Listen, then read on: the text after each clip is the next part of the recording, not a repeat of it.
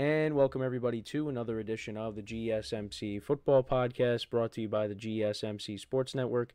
As always, I'm your host Kenneth Grunfelder, and it's great to have you guys here on this Wednesday, October 30th. We have a lot to talk about on the show today. Before I get into that, just want to remind you guys, as always, tip or donate and get your comments recognized. Make sure to go to the super chat button in the chat, and the graphic does work today. Uh, for some reason, there was a bit of an issue yesterday, but it's back. Make sure to go to the super chat button to create a super chat of any thought or comment you may have throughout the live broadcast. I will acknowledge it, and it just makes the show more lively, more entertaining between myself, the host, and you guys, the viewers. We appreciate you guys' viewership each and every day, so any contribution you can make to the show means the world to us as we put out content for you guys each and every day. And also, the other way to help out the show is by going to the link at the bottom of the show segment on the ticker, gsmcpodcast.net. That is gsmcpodcast.net. So, let's get into what we are going to discuss for today. So, we're going to start off the show. We're going to talk about the news of the Colts benching Anthony Richardson for Joe Flacco. So, we'll get into the implications on that as the Colts get set for a matchup with the Vikings that got flexed into Sunday night. So, we'll talk about that. Then, in the second part of the show, some wide receiver news. So, there was another trade that went down yesterday. We'll talk about the Panthers trading wide receiver Diontae Johnson to the Baltimore Ravens, and we'll also get into discussing Stefon Diggs uh, being out for the rest of the season. It was made official. He has torn his ACL, so we'll talk about the impact of that. Then a couple of recaps. We'll get into the Packers and their win over the Jaguars. We'll talk about Jordan Love. He ended up getting hurt again. So we'll talk about the impact of that injury. We'll get into the Commanders Bears game, the wild ending to that.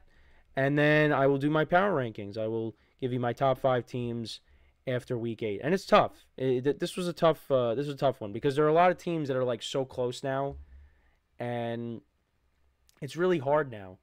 Um, next week we'll see what happens, and then you know things might be different. But it, it was definitely tough this week.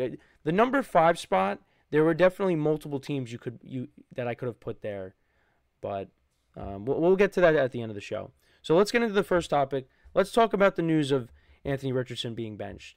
So, I, myself and many others, uh, be, truly believed, and it's still possible, that Anthony Richardson is going to be a star. Uh, you looked at last year in the games that he played in, you saw the talent was there, and you even see it this year as well. The flashes are there. The problem is the consistency is not.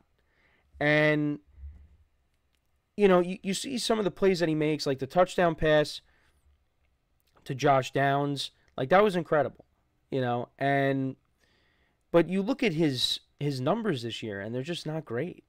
They're not great. Um trying to get his stats up right now.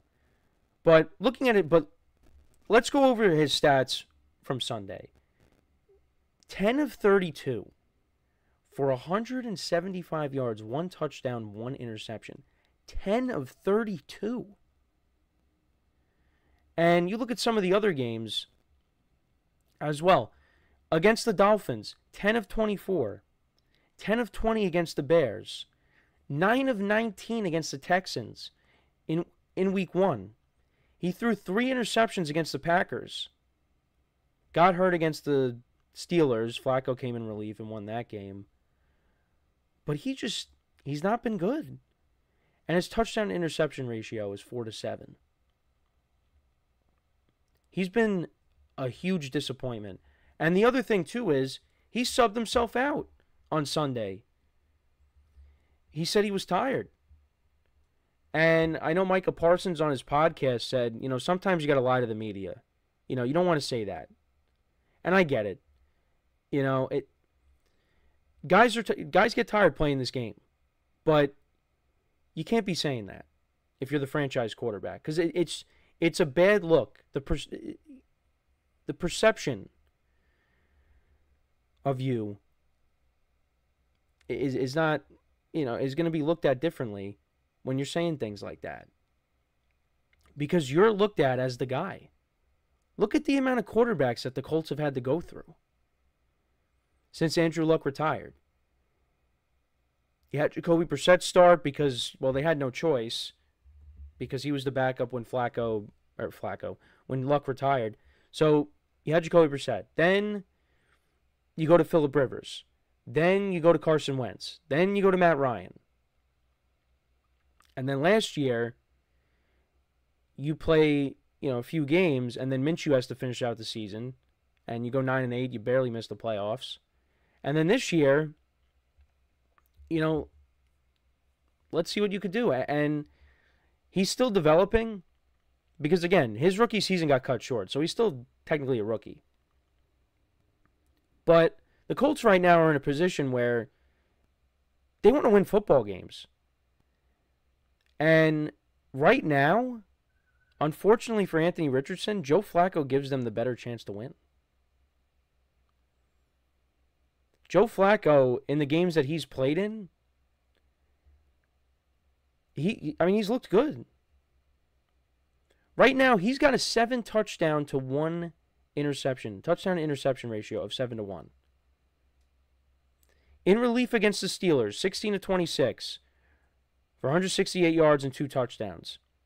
Against the Jaguars, 359 yards passing, 33 of 44, three touchdowns, no picks. They did unfortunately lose that game.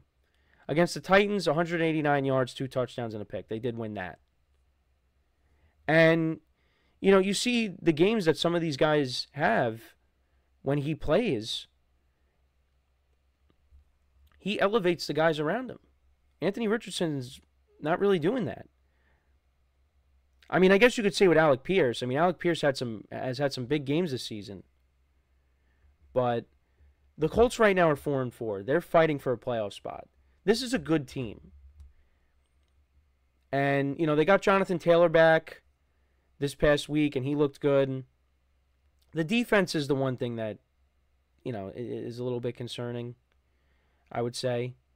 But it's a good team. And the way the AFC is, there's no reason this team can't make the playoffs. They definitely can. And you look at the schedule coming up, I mean, it is tough, though.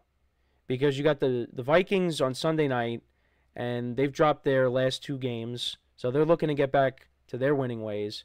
Then you got the Bills after that at home, and the Bills look the Bills look awesome right now. Another big win in Seattle. Then they play the Jets on Sunday Night Football, which, I mean, should be a win, but we'll see. Home against the Lions, at the Patriots. You got the bye week 14. Then your last four games. You're at Denver, which is tough. Broncos got a good defense. But then your last three games, you got the Titans, the the Giants, and the Jaguars. So, kind of looking at this schedule right now, I do see about I, I could see them winning five five games with their remaining schedule. But, you know, again, you got the Vikings, you got the Bills, the Lions in there, the Broncos defense. You'll be going up against that if you could maybe take one of those games too, that could get you to about 10 wins. And that could be good enough to make the playoffs. Because with the wild card right now, they're a game out. The Broncos, the Ravens, and the Chargers currently hold the three wild card spots. They got a shot. They got a shot. You know, there's a lot of two and six teams. The Titans are one and six. Dolphins are two and five, losing to the Cardinals. Bengals are three and five. You know, it's right there in front of them. And Flacco, like I said, he gives them the better chance to win games at this at this point. And I want to believe that Anthony Richardson can be the guy because again, he shows flashes. But the consistency is not there. And I go back to the preseason game against the Bengals, I believe. You know, they put together that nice touchdown drive, and then I believe on the next drive he throws a pick six. The consistency is not there, and it's carried into the regular season. You know, like, I mean, against the Bears, you know, they go down the field on one drive, and then he throws a red zone interception. Maybe this will be a good thing for him him sitting on the bench, let Flacco play. And obviously, I mean, look, Flacco, you know, he dealt with, you know, Lamar Jackson being drafted, and Lamar Jackson eventually took his job. And that was back when Flacco was still a starter. You know, this isn't really new to him. Right now, he's a backup quarterback, but he's playing well as a backup quarterback. And it's because he's in a good system. With the Browns last year, he was in a good system. When he was with the Jets, was not in a good system. The Colts is a good system. They need a quarterback. Flacco is not the franchise quarterback by any means, but they're four and four right now. They're trying to win football games, and he could do that for them. Anthony Richardson right now can't do it on a consistent basis. They want to make the playoffs this year. And if they want to do that, Joe Flacco's the better option. I mean, I'm hoping that Anthony Richardson can turn it around and you know, be more consistent because if he can figure it out, he's an exciting player to watch because he has all those wow plays that you see. But you got to be able to be more consistent. And again, talking about being tired is not a good look because then you're going to have people questioning you and you know, you don't want that. You don't want that, and especially as a young player. So, we'll see how this unfolds, but they got a very tough game with the Vikings on Sunday, especially again just because the Vikings have come off of are coming off of two straight losses. So, that's my thoughts on it. Let me know what you guys think though. Was this the right move? I mean, I believe it is. But let me know in the comments how you feel about this move by the Colts going to Joe Flacco. Um, we're going to take our first break now of the show. And then when we come back, we'll talk about some wide receiver news. We'll get into the Diontae Johnson trade. And we will also get into the Texans losing Stefon Diggs for the season due to a torn ACL. So, with that being said, stick around and we'll be right back here on the GSMC Football Podcast.